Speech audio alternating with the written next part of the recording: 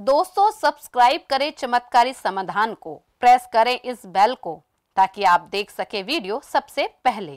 स्वागत है आप सभी का दोस्तों, मैं हूँ आपकी दोस्त राशि। दोस्तों, होली और दिवाली बहुत बड़े पर्व माने जाते हैं, जिन्हें किसी न किसी रूप में पूरे भारतवर्ष में मनाया जाता है।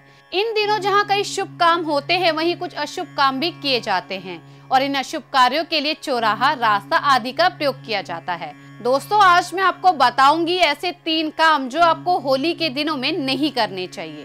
पहला, इन दिनों किसी भी तरह का उतारा, चाहे वशीकरण हो या काला जादू, या किसी भी तरह की कोई टोना टोटका या ऊपरी बाधा हो, किया जाता है।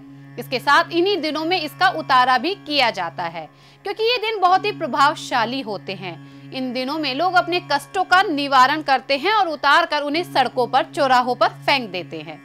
और जो भी व्यक्ति इन चीज़ों को क्रॉस करते हैं, उन पर इनका असर हो जाता है। इसलिए होली के दिनों के समय चौराहे को क्रॉस करते समय थोड़ा सा ध्यान दें। दूसरा, यदि इन दिनों कोई आपके घर मिठाई या कुछ मीठा लेकर आता है जो विशेष रूप से सफ़ेद हो, उसका सेवन ना करें। तीसरा, रास्ते पर यदि कहीं आपको नींबू, सफ़ेद मिठाई, चावल, लाल सिंदूर या काला कपड़ा दिखाई दे तो अपना रास्ता तुरंत बदल लें। तो दोस्तों, ये थे वो तीन काम जो आपको होली के दिनों में नहीं करने चाहिए।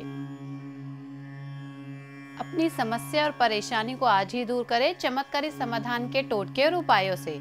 और चमत्कारी समाधान की बाकी वीडियो के लिए हमारे चैनल चमत्कारी समाधान को आज ही सब्सक्राइब करें। और अगर आपको हमारी ये वीडियो पसंद आए तो इसे लाइक, कमेंट और शेयर करना ना भूलें।